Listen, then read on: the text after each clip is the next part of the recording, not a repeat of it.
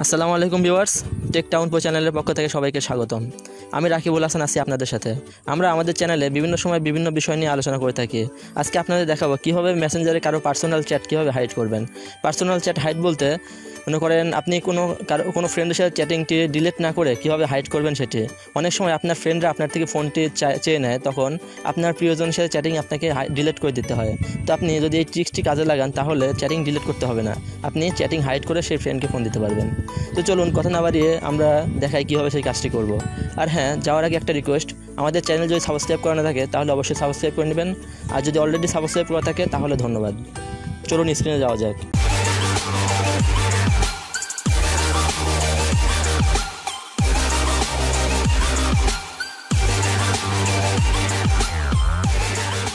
প্রথমে আপনাকে মেসেঞ্জারে ঢুকতে হবে।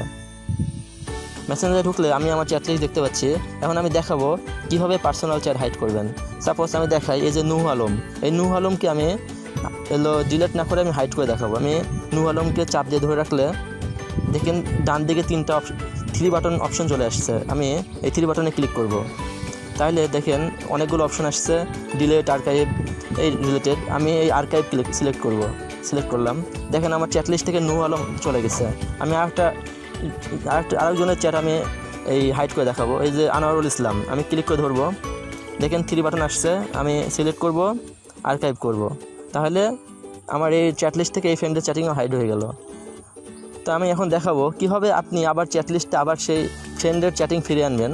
তো আপনাকে সেজন্য প্রথমে যেতে হবে এই সার্চ বক্সে সার্চ বক্সে গিয়ে আপনার হাইড অফ ফ্রেন্ডকে ফ্রেন্ডের নাম সার্চ করবেন। নুহু। এই যে নুহু আলম আসছে।